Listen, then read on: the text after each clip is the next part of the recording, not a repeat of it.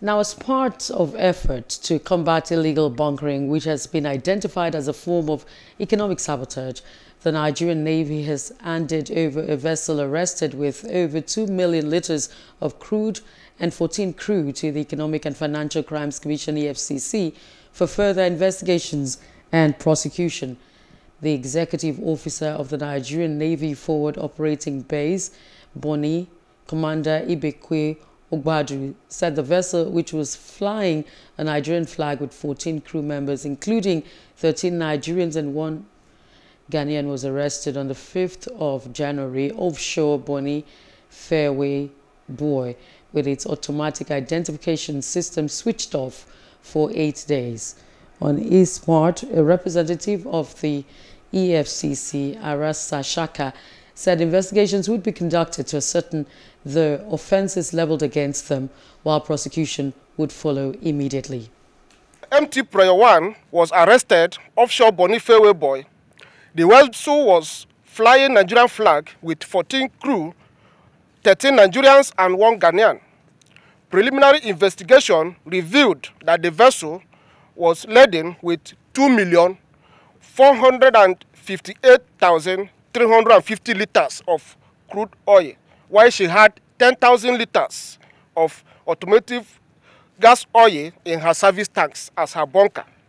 Taking over our ceremony, we will subject the, the, the, the vessel in question and the crew members to thorough investigation and ensure that everyone involved is.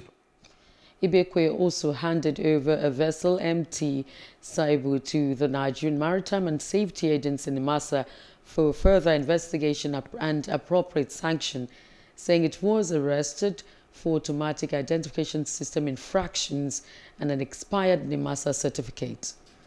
The vessel was arrest, arrested for automatic identification system infractions as well as expired NIMASA certificate. Based on Eastern Regional Control Center intercept, the vessel was tracked in Nigerian waters on 19th November 2021 from when she went stealth and was later detected 23 nautical miles south of Lome.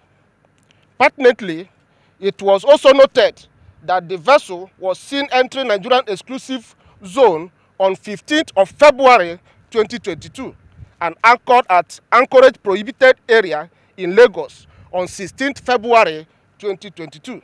When they accepted me last month of 20, so and they said my offense was my AIS is off, so which I led them to understand that uh, my AIS off due to my machinery that failed because my AIS being powered by the generator. So, and when my generator is being uh, down, so the AIS is not more working at that time. For so, days. for when I re rectified the problem, then the AIS come up back.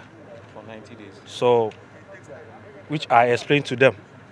So I have a failure of AIS, which I later he maintained that the vision of the current Chief of Naval Staff, Vice Admiral Awal Gambo, to deploy all necessary measures to curb economic sabotage remains the focus of the Nigerian Navy. Please do subscribe to our YouTube channel and don't forget to hit the notification button so you get notified about fresh news updates.